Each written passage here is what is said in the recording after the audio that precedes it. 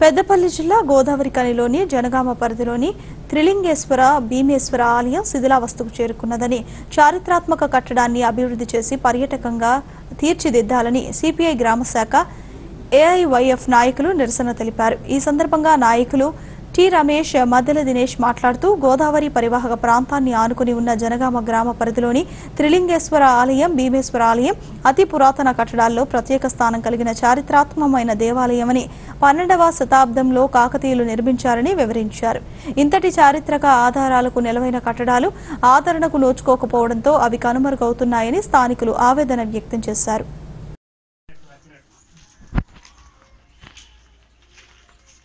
మళ్ళొకసారి ట్రాంగ్ తీయాలని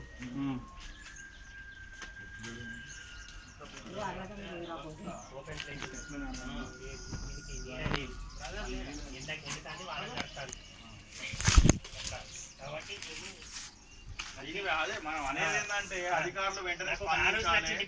ఒక ఎండోమెంట్ దూరం పోయింది. రామోజీ